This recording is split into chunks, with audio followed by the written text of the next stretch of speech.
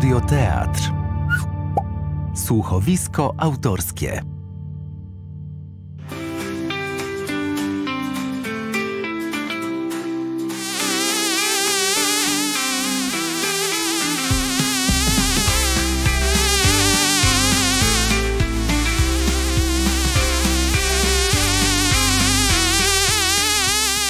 Tak się zadziało, moi drodzy, że od konkursu, na którym zaśpiewała nasza bluesowa mucha, wysypisko zmieniło się nie do poznania. Śmieci jakby wyparowały, a pojawiły się za to domki. Identyczne domki i ogrody. Identyczne małe ogrody.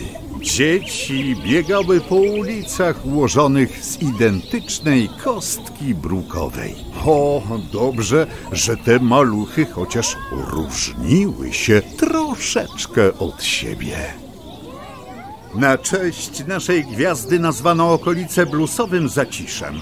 Zupełnie jakby muzyka coś z ciszą miała wspólnego. A zapewniam, iż ma więcej niewspólnego niż wspólnego. W każdym razie znów pragnąłbym rozpocząć naszą historię w sposób jakby taki wyniosły, jak to na bajarza przystało, ale słowa same mi z ust wylatują tak szybko, że ich połapać nie mogę. No już uspokójcie się, no już, już, już.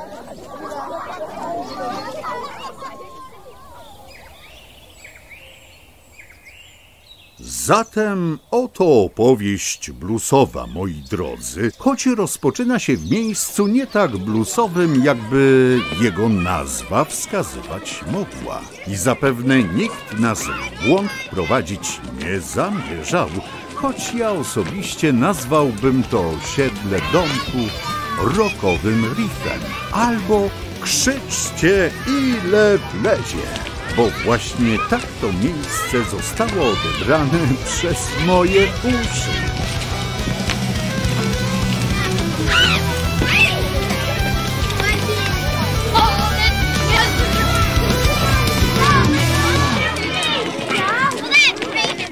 Zatem spróbuję jeszcze raz rozpocząć tę rokowo-bluesową historię w jakże nie bluesowym, bluesowym zaciszu.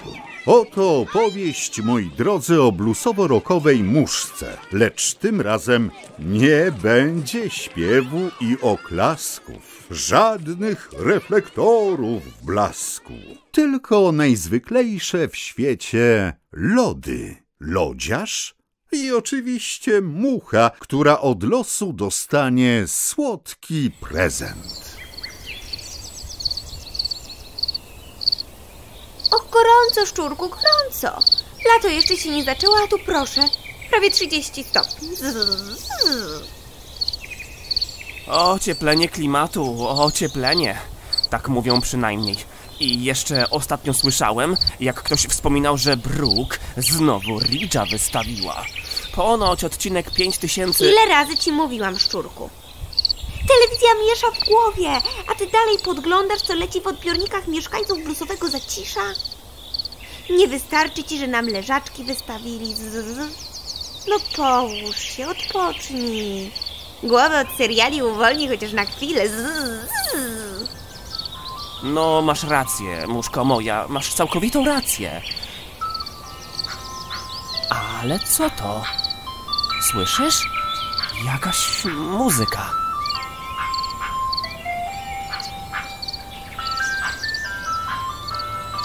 Takiej muzyki to się nie spodziewałam. Bluesowe zacisze, a tu ani cisza, ani bluesa. Ale muszko! Przecież to lodziarz jedzie! Czuję się, jakby znów był Dzień Dziecka! O, już. Lecą jak muchy do miodu. Albo szczury do sera. Albo mm, dzieci do lodów. Lody, powiadasz? Ach, sama bym trochę liznęła. Tak gorąco, że aż podleci po skrzydełkach. Zzz, zzz, zzz. Ale zobacz, muszko, ile dzieci! Chyba w kolejce nie dostoję. Pora zatem wykorzystać względy swoje. Zaraz tam polecę i spróbujcie się dogadać.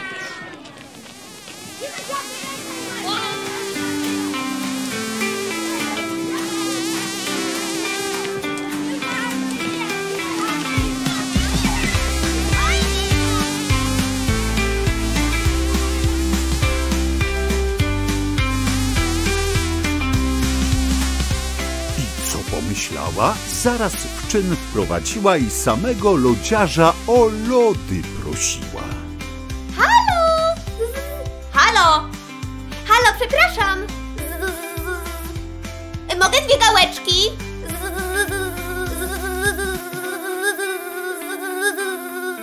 Lecz lodziarz nie słyszała.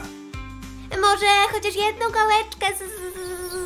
W końcu muszkę zobaczył, lecz sięgnął po łapkę i zamachnął się raz, drugi i trzeci. A widząc to wszystkie dzieci zaczęły jak spragnione ziarna ptaszyska wrzeszczeć na całe gardliska.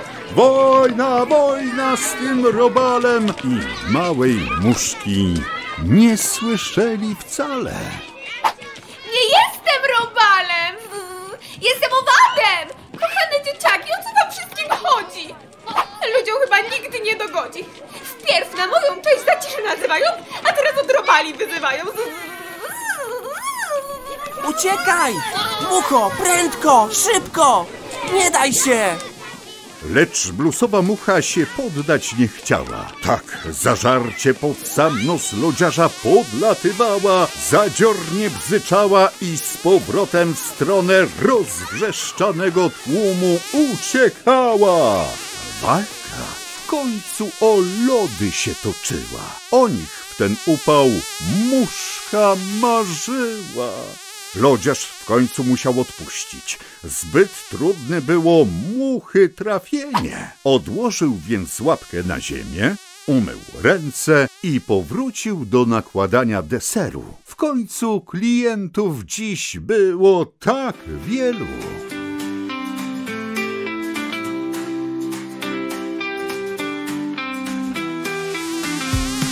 A mucha zakręciła ostatnie kółeczko. Odlecieć już chciała, lecz przypadkiem w lody wleciała.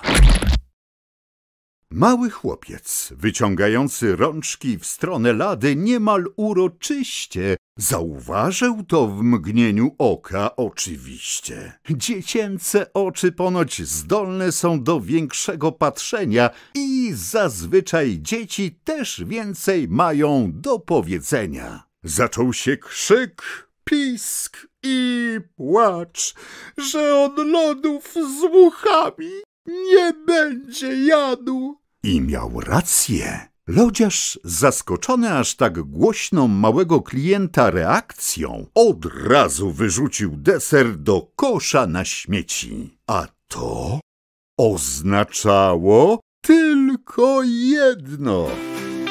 Uczta będzie! Nic się przecież nie zmarnuje, ktoś inny lodów posmakuje.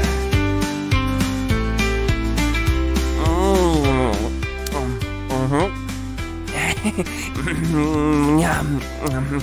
Ależ to jest pyszne. Muszko, ale szczęśliwy przypadek. Racja. Mm, Niesamowite, że tak się zdarzyło. mm. Jedz, nie gadaj już tyle szczurku. Bo się lody nam roztopią. Aha. Mm. Czasami tak właśnie bywa, że życie własny scenariusz odgrywa.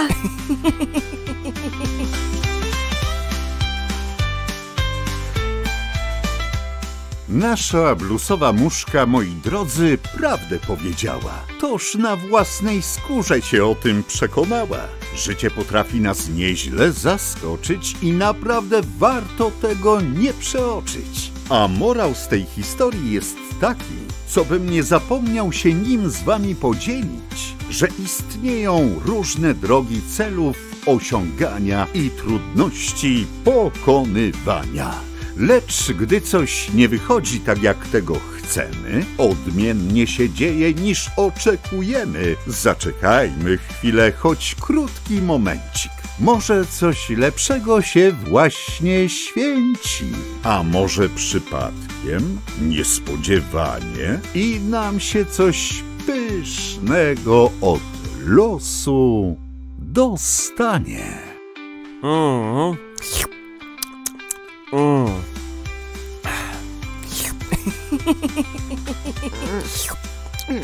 Aha.